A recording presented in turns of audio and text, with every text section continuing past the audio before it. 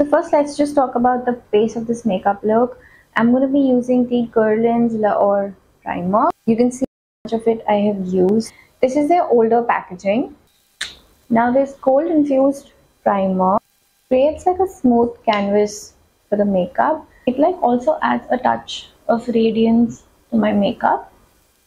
The texture is divine. It's silky smooth, you know, and it gives that perfect golden glow, making it perfect for, you know, special occasions. Moving on to the foundation, I've been using the Chanel Water Fresh foundation. It's lightweight and yet it's buildable at the same time. I really like the way the foundation bubbles just, you know, are you know like immersed in the watery liquid but when you mix it it becomes like a really nice medium to full coverage i think it's medium coverage foundation and i really like to just watch the bubbles you know pop and then become into a foundation it's lightweight yet buildable providing that perfect no makeup look the water-based texture feels like really refreshing onto my skin and also the foundation adapts very seamlessly to my skin tone, which I really like about this foundation. Also, I'm very happy with, you know, the applicator that Chanel has sent along with this foundation. I think it makes it very perfect to, you know, mix the bubbles, like the foundation bubbles and, you know, mix it completely with the liquid and, you know, give that watery, dewy texture. You can see how my skin looks very dewy, natural kind of glow onto my skin, which I really like with this foundation. Now to add like a very rosy radiance onto my skin, I'm going to be using the Pillow Talk from Charlotte Tilbury. The Pillow Talk Cheek to cheek uh, Swish and Glow blush.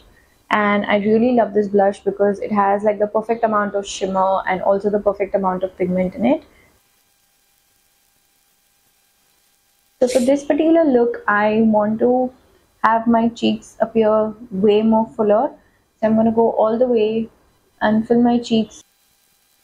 Moving on to the lips, I just cannot get enough of the Charlotte Tilbury's Pillow Talk lip combo.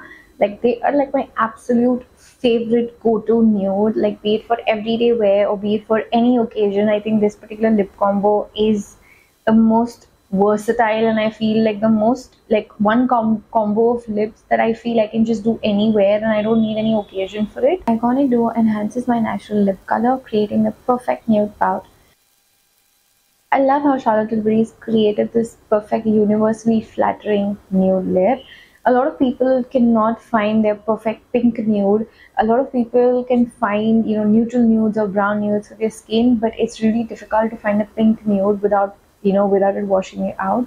So i think this particular shade is like an absolute absolute need and it's become like my staple for a lot of makeup looks. And if you guys follow me you guys know that i love love this lipstick a lot now to add like a bit more radiance to this look i'm going to be using the charlotte tilbury's uh, spotlight which is the beauty light wand in the shade spotlight this particular highlighter has a really light poppy champagne gold color. You can see the shade of this highlighter. I absolutely love it that it comes in liquid form. I love how pigmented this highlighter is. I really like using it like on high points of my face. It adds a really nice luminous finish to my skin. So now we're moving to the eye makeup. For that I've got you guys a bit more closer to me so you guys can see how I applied the makeup. And um, so for starters, I'm going to go ahead with a black eyeshadow and I'm gonna make a wing out on my eye then I'm gonna go ahead with the lighter white almost I would say pearlescent white shade and just dab a little bit on the inner corner of my eye and then just softly go about it below my brows for my mascara, I'm going to be using the Dior Show Waterproof uh, Mascara.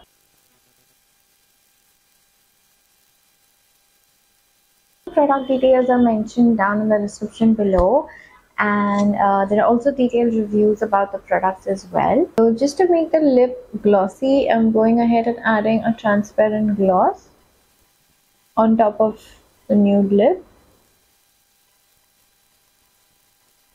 So if you guys enjoyed this video, do not forget to watch these videos as well and do not forget to subscribe to my channel and also follow me on Instagram. All the social links are mentioned down in the description below and I will see you guys in another video.